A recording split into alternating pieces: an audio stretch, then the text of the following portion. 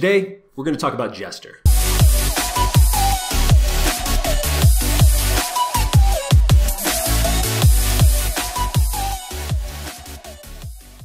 Welcome back to the channel. Uh, so over the past probably week to two weeks, I spent a lot of time talking a lot about my investments, you know, Fundrise, Robinhood, uh, investing in crypto now and, and learning more about that space. And, and I'll make videos on that as uh, the time comes and as I feel comfortable um, sharing the information that I'm consuming. Uh, I've also talked about my real estate portfolio outside of online investing and, and like actual physical real estate that my wife and I own. I've talked about my finances and, and um, our finances as a couple and where we've come from and where we're going and where we are currently. But what I haven't talked about, what I haven't talked about is Jester all that much. I, I've touched on it and I think today is the day that we really and very quickly dive into what it is. As I've said before, Jester is my startup apparel company. So this is Jester, this is the hoodie, this is the logo. I just recently got the patent for the logo itself, so I feel a whole lot more comfortable talking about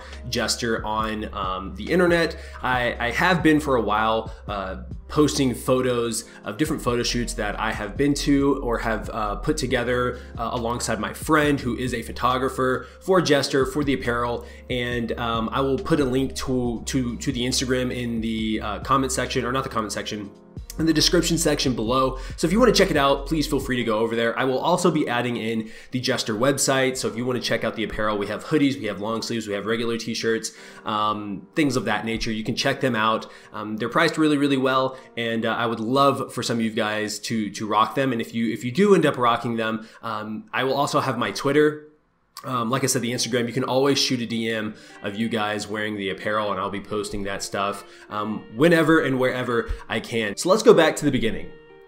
What is Jester? Why did I create it? Like I said before, Jester is an apparel uh, startup. And the reason I started it was because as a as an individual person, I, I didn't have a uh, I guess fit and I had ideas of things that I wanted to wear and things that I thought were cool. And I honestly thought that I could do the same thing. I could build something um, that represented the same thing. And so I started probably two years ago putting together ideas, thinking about different apparel concepts, thinking about different logos and what it is I want wanted the brand to represent. And in September of 2020, um, I, I, I took that leap of faith. I had took about $5,000 out of um, my wife and I's personal uh, checking account and I started a business account. And during this process, I went to a designer and had them create the logo that you see today. And probably three or four days after I did that, I went and found myself an attorney who uh, specialized in, in uh, small businesses and, and working on patents for logos. The conversation that we had lasted probably 15 to 20 minutes, and I basically told him this is the logo that I have. I need to get it patented. What's the process? He talked me through the process, said that based off of everything that's going on in the world, it's probably going to take upwards of a year to complete, but that he could get the process started. At this time, I did not have a website. In fact, I didn't even have any apparel. I just had an idea, I had a logo, and I had a dream. After that conversation, he made it very clear that I was going to have to be able to showcase apparel and I was have I was gonna have to be able to showcase at least a social media, and then from there maybe be able to get um, the government to uh, okay the patent at that time. I said that wasn't a problem. I had an Instagram at the time. I had a Google Sheets. That's where you went and ordered the um, the, the apparel, and I would go in and I'd get an email about the Google form and and, and who was ordering through that, and I would then process whatever uh, orders that I had at the time. I wrote a check for about fifteen hundred dollars and I handed it to the attorney right then and there, and I said, "Let's get this start this this process started right now." He kind of looked at me, kind of a little puzzled, and was like, "Okay," and um, we just we started the process. Little did I know that he was being serious when he said it would take a year, uh, but it was he, he he kept in contact. Probably every two to three months, he would shoot me an email and just let me know and update me on what was happening with the logo, with the patent, and what the people in the government were saying. During this time, I I, I recognized that I needed a website. And so I started looking at different website names, and the one that I really want is jester.com but that's just unavailable. Uh, someone owns that and is using it, um, I believe. And, and then I, I, tried different variations of Jester, and they, they were just insanely expensive. We're talking anywhere from $10,000 upwards of of 100,000 is the cheapest that I've seen. Jester.com, the person who owns that, I have no idea how much they're paying for that uh, or how much they paid for that. And I'm just not in a place to be able to buy that. And it, it's true, it's sad, and maybe one day I will be able to purchase it, but I'm just not able to at, at the moment. And so I typed in jesterapparelco.com and I could get it for, I think at the time I got it for like 10 bucks. I, I, I didn't think much of it, but I have that URL, uh, that, that URL, and um, that's the URL that I started designing the website that I currently have. Now, I'm not a professional. Everything that I've done in terms of uh, developing the website was was was my own. It was a lot of hours spent messing around, looking at different things, and um, trying to make the website um, flow in a way that was relatively smooth. And I think I've done an okay job doing that. But the goal is to obviously update that and make it a whole lot better. Uh, but with that being said, uh, that was the next step for me creating a website. I knew that having a social media was going to be a great place to start, but for me, I'm not very good at operating social medias. I'm not very good in general at operating anything. I, I am very, very much a visionary and I'm really, really good at coming up with different ideas. I'm not the best at executing on those ideas and making them come to life, mainly because I just don't have the skills or the patience to do so. And so I knew that I needed a website because I wasn't going to spend all day, every day on social media trying to contact people, pull orders in that way. I wanted a place, a hub that I could go in recommend hey if this is something that you want you want to buy a t-shirt you want to buy a hoodie go to this website check it out and you can order through there. The, it's through it's a shopify website. It's really really smooth really really simple and um, honestly i'm just really really happy with the product. What's crazy about this whole process is as i began to finish up the website i received an email from my attorney and my attorney basically said that the government did not believe that the way in which I was selling apparel at the time meant that I was an actual business. Even though I had a social media, even though I had a, a, form in which I was utilizing to pull in orders, they said that I was using a third party and therefore it wasn't my actual business and therefore I could not patent the logo. Probably a day or two prior to this, I just finished the website and, and, and through a couple of emails with my attorney, he basically asked, me if I, you know, as soon as I could get a website, that would be the best option. And I, I, basically wrote back and I was like, hey, that's crazy because I just finished a website. And he was like, you're kidding. And I was like, no, I'm not. And so I sent him the website, I sent him the URL, and within like, you know, an hour, he emailed me back and was like, this is perfect. And then I didn't hear from him for like four or five months. I began wondering, you know, what is going on? Why, you know, what is happening here? Uh, and, and I, I was clueless. He basically said that the government was backed up really, really bad, and that this next step was going to be the longest. He may have to make some alterations. Nothing crazy. Um, throughout this time period, I basically was billed um, that from that fifteen hundred dollars. It basically was just sitting in, a, in an account that he pulled money from um, whenever he needed to pay himself for the services that he was doing. Um, and then, like I said, in, about a month ago, I received an email saying that the patent was uh, good and that I was I was the logo was mine and, and that I own that and that no one can take that from me. Now, I fortunately haven't run into any problems with someone trying to use, utilize the logo, uh, but I'm sure in, in the days and, and months and weeks and years to come that is probably going to happen. But I'm super stoked about um, my logo, I think it's super crisp and um, I love it. And, and I just, I'm sharing this with you guys because if you're looking to start your own business and you're looking to patent things, just be aware it's going to take a whole lot longer than what you think. It's going to cost a whole lot more money than what you think.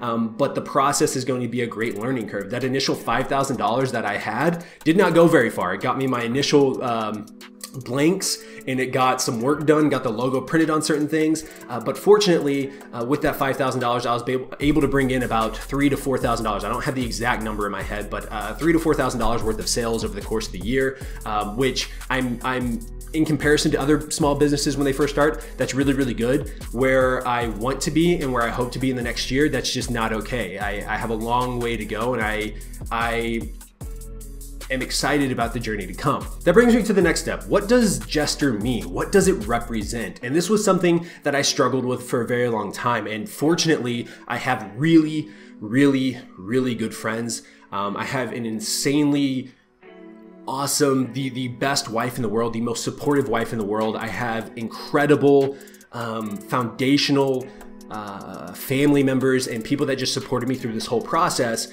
Uh, but I spent a lot of time thinking about what Jester represented to me.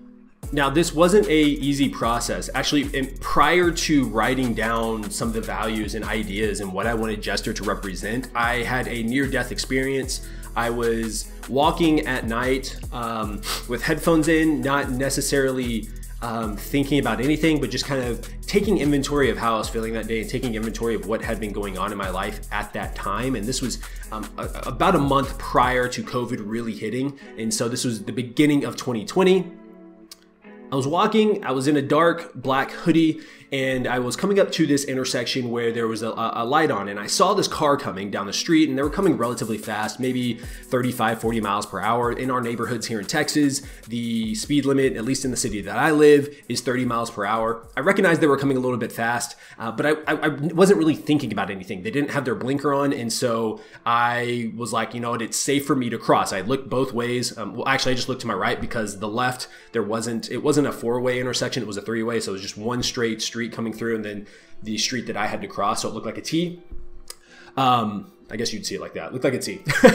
Either way, uh, the car was co- um, coming towards me and I saw it. Um, didn't have their blinker on, so I was like, okay, I'm clear to walk. I take a step into the street and as I'm walking, I hear, I, I don't necessarily see the car, but I kind of hear the car is turning. Um, and it's really hard to explain this because I didn't see the vehicle at all. I, I didn't all I heard was there like a sound that sounded like the car was turning, but it didn't sound like a car was turning, if that makes sense. Um, but I knew something was off. And I, without thinking, it wasn't an instinct. I, I, guess it was an instinct. It was unconscious. Uh, you know, if, you're if you're a person of faith, it was a God thing. If you're not a person of faith, it was uh, a spiritual thing. If you're not a person of spirit, I don't know what it is. But my I, I jumped backwards. All I did was jump backwards. And the next thing I know is I'm staring face to face with this driver um, looking through the passenger side window and where my body just was. I didn't get hit. I didn't get touched. They stopped. I just stared at them and I, uh, they kind of stared at me and then told me to walk. And I was like, nah, you can go ahead. I, I, you almost just hit me with your car. This person didn't have their blinker on. I was in the I was in a black hoodie, so they probably didn't see me to begin with. It was just a, a combination of him not doing um, what they needed to do as a driver and me not wearing the correct clothing uh, to go walking or running or working out at night. Um, but during that whole process, um, I, I, I, really found uh, myself and was like, you know what, life is vulnerable, life is quick, and it could end at any moment. And I, I'd been holding on the idea of Jester, what it meant for a long time. And I was like, you know what, I, I got to start now. And at the time, I decided that the the values um, were to be really simple. Number one, community. Uh, I, I, want to be community driven. I want to make sure that as a business, we focus on the people that truly believe in in Jester. Uh, now, now that's not to say I don't want to go out there and and bring in um, more more uh, customers and, and more people onto the team, um, but I'm not to waste time trying to uh, give Jester and sell Jester to 8 billion people when there's 100,000 people that are diehard fans of the brand, if that makes sense. Uh, the next thing is innovation. Uh, and, and when it comes to clothing, there's not there's not much else we can do with clothing. It's all been done. You know, in fact, it's been there's so much that's been done. It, it's so stale in terms of what you can do with clothing that people are, are like putting holes in their clothes and and, and like painting their clothes and, and doing crazy stuff with with clothing. You know, making clothing out of out of plastic and stuff. Uh, and, and, so eh, we've almost done everything you can possibly do with clothing. And so where where can we innovate? You know, the the goal with Jester is not to just give you apparel, but it's to give you an experience, right? Uh, the the third is relentless pursuit of progress. And at first, I had relentless pursuit of perfection. And uh, for me, I don't I don't perfection isn't isn't what you want, or it, it's not attainable. So why chase it? Progress is and making sure that as individuals we're growing and changing as um, the startup hopefully becomes an actual business and I start to hire people, we as a business are changing. Um, as fans of the product and, and, as a community, we're changing for the uh, for the positive. I, I I 100% believe that it is your responsibility to leave the planet and this world in better hands than you received it. Right. Um, third or fourth, excuse me, is character. Who are you? What who is Jester? What do we represent when no one's watching? What do I represent when you're not watching? What do I do on a day to day basis when there's no one around me? The fifth one is student. We always have to be learning. We always have to be learning. Um, and the thing is, is you're, you're always changing. You're either going forward or you're going backwards. You're not going to stay the same. And so keep that in mind whenever you're doing something in life. You're either going forward or you're going backward. And for me, I want to be a student of all aspects of Jester and all aspects of YouTube and all aspects of investing and all aspects of making money and all aspects of building relationships. Um, I want to be a student of those things because I want to be better at them. And I want to be able to pass that information and that knowledge on to my son when he gets here and, and however many other kids we end up having, um, as well as my friends and my family. And then the last thing is focusing on us. I know for me, I am a very competitive individual, and oftentimes I look at what I'm doing and I compare myself to others, and I'm like, I'm not as good as them, or um, I'm never going to be as good as them. And, and rather than focusing on what I can do to make myself better, I focus on the greatness of others. And I think it's important to have people that you look up to and have people that you can take after. But if it if you're doing that to the point where you are no longer working on yourself or on the things that you want to build, then there's a problem there. And so for me, focusing on us is a value and it's a standard that I, I will not back down from. One of the final things was determining what our saying was. Um, you know, Nike, just do it kind of thing. What was going to be Jester's go to? And initially, uh, I had decided Jester, it's not for everyone. And my friends are awesome. I am very, very hard headed, and I wanted it to stay the same for a very long time. But we had a very serious conversation of, hey, Oscar, this is.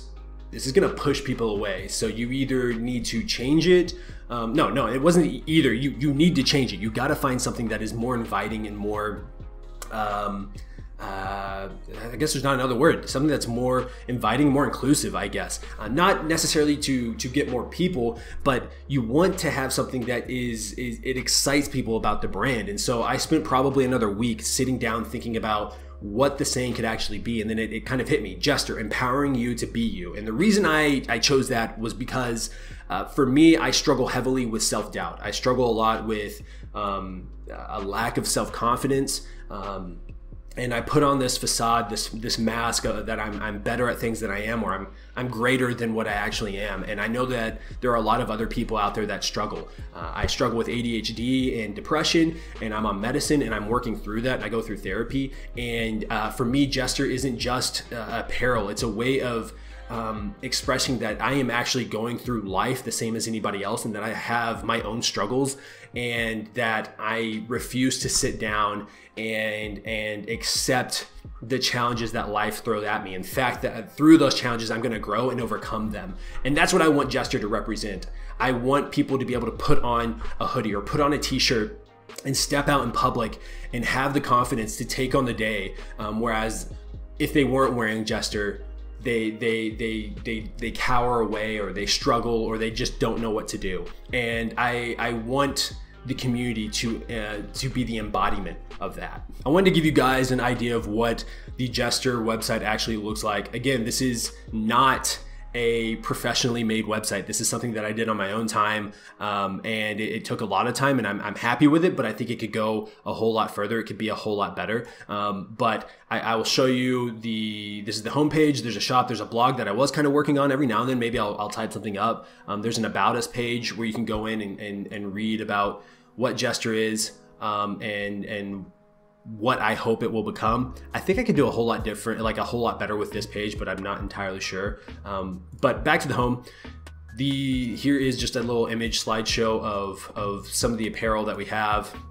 Um, initially, I only had hoodies, and so that's why you see a ton of hoodies. Um, but now uh, we have long sleeve t-shirts, some short sleeve t-shirts. This is part of our empowered um, t-shirt line, and then we have our origins, our origin hoodie and our origin t-shirt um, right here. Uh, $35 for a, hoodie, $15 for the, uh, this t-shirt specifically, $12 for the Origins t-shirt, and then $18 for our long sleeve. It's a really simple uh, website. I'm really, really happy with it, but I wanted to show you guys what this website looks like. And, and, and the reason I'm showing this to you guys is because it doesn't have to be perfect. I know a lot of people don't start things because they think that their product isn't ready or their video isn't ready or their website isn't ready or whatever the case may be this isn't perfect. This isn't the best website you'll ever find. And in fact, it's probably maybe on the it's probably like if there were like five tiers and one is the best and five is the worst it's probably like in between tier five and four depending on who you talk to and um but the point is is that i've started and so I want to talk more about Jester with you guys and, and just showcase what I'm doing, where I'm going, and how it's how it's growing over time. Um, and this is just the start. I don't know what the future holds for Jester and if it will actually ever become anything. I have this is my second business that I've ever started. I have one other failed business that failed due to um, me not really uh, treating it the way that I should have and, and, recognizing relatively quickly that it wasn't something I wanted to do for the rest of my life. And then two, um, having COVID come in, uh, kind of just finished it off. Um, and, and, I took that really hard. I, I felt like a failure, and um, but I also learned a lot from from those experiences. And this is my second business. This is something I'm really excited about, and I want to take you guys on that journey. So if you have any questions, please leave them in the comment section below. Let me know what you think. Uh, again, I'm going to do these updates periodically. They won't be as often as my investment ones unless something crazy happens with Jester and I just have to give it all the time um, that I need to, uh, you know, hours and hours every single day. As of right now, I can give it a couple hours a day and um, nothing crazy is going on. Um, but if you have any questions, please leave it in the comment section below. Um, also, if you have any businesses or, or, at least ideas that you're starting on, um, I would love to hear them. I'm, I'm, curious to know what you guys are working on. It's really interesting to me. Uh, and then if you have any investments that you're doing, let me know about those as well because I'm just curious as to what you guys are investing in. Uh, you guys know what I'm investing in, and as that changes, I will up, I'll update you guys um, with, with videos and such. But again, thank you so much for watching. My name is Oscar. This is Jester. I hope you guys have a fantastic day, and I will see you guys in the next video.